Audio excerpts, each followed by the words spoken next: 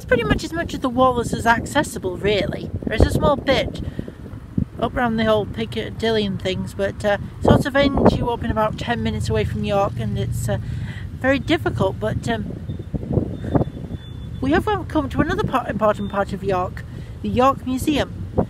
Yes, I know. I knew somebody called Michael. He once tried to get in by saying he worked at Jorvik. Sadly hilarious, I know.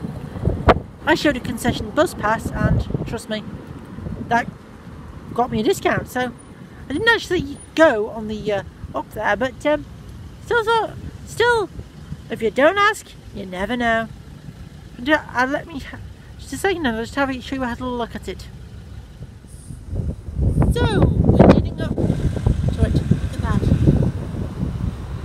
and what a beauty it is. This was the medieval times. They'd probably been shooting cannons out at me for this from there. But now, no, no, keep off the bank. Yes. Shame I can't just dig that up and give it to George Osborne. Keep off the bank.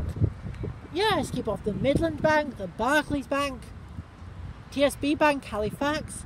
I tell George Osborne to keep off any bank. There you are, George. Keep off the bank. Now, speaking of more famous people, here's a Hilton. Yes.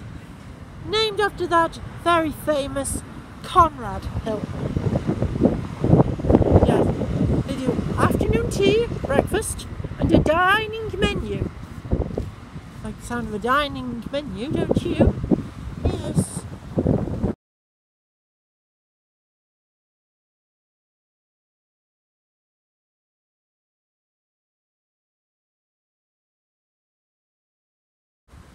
There's a castle on the hill. As um, a certain Ed Sheeran would say. Now that's temporary theatre. That's not usually in York. That is a temporary theatre. Meaning the word temporary means not normally here. Oh, if people hadn't, if people were at work, they wouldn't be trying to run you over. Stand on the pavement. There's Fenwick.